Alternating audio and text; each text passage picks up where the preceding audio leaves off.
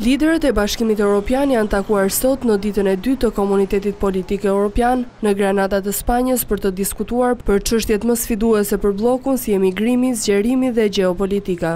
Sa i takon çështjes së emigrantëve, mediat e huaja bëjnë me dije për një plan me pesë pika mes Bashkimit Europian, Shqipërisë, Francës dhe Holandës kundër emigracionit të paligjshëm dhe trafikantëve të emigrantëve.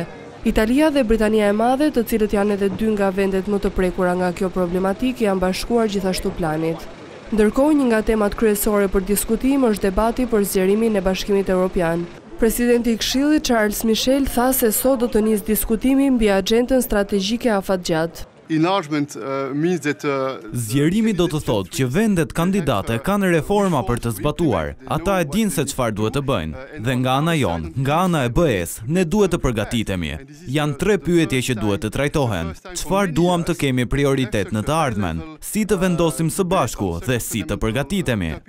Në nisje të bisedimeve, kancelari gjerman Olaf Scholz bëri thirrje që Bashkimi Europian të përmbushë premtimin njëzet vjeçar për anëtarësimin e vendeve të Ballkanit në bllok. Megjithatë, ajo që duket se do të bllokojë deklaratën e përbashkët të samitit do të jetë pikërisht çështja e emigrantëve për të cilën shtete të ndryshme të Unionit nuk kanë qëndrime të njëjta.